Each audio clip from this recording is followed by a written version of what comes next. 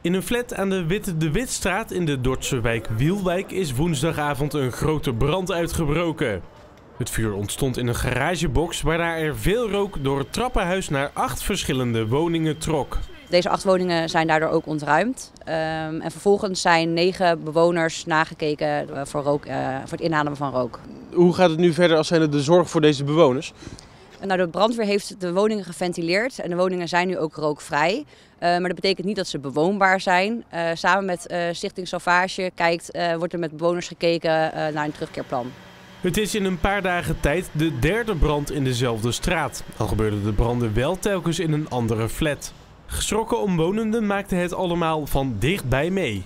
Nou, toen zijn we gaan kijken en er waren mensen naar buiten aan het rennen. Er werd geroepen uh, van kom naar buiten. En uh, ik zag, volgens mij zagen we ook kinderen naar buiten komen. En um, toen uh, heb ik, stond ik op het balkon. Ik heb gelijk 112 gebeld.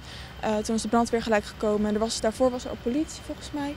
En er stonden allemaal mensen op de balkonnen. En er was heel veel rook uit in het gangpad. En uit één woning leek heel veel rook te komen. Ook zagen bewoners dat mensen van het balkon werden gered.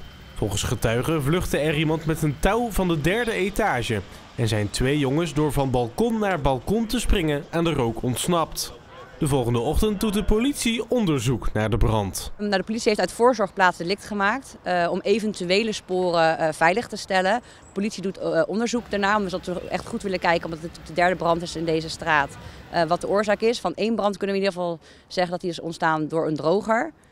Um, en verder zal de politie uh, onderzoek doen. Wel uh, kan ik, uh, wil ik oproepen dat zijn er mensen die iets gezien hebben, iets te melden hebben, doe dit vooral bij de politie. Wat is er hier aan de hand in de straat? Want het is al de derde keer deze week. Ja, inderdaad. Ja, wij hebben geen idee, maar we gaan vannacht niet thuis slapen in elk geval. Dat, dat is wel zeker. We zijn een beetje bang dat ons gebouw de volgende is. Dus ja, we hebben geen idee wat er verder aan de hand kan zijn.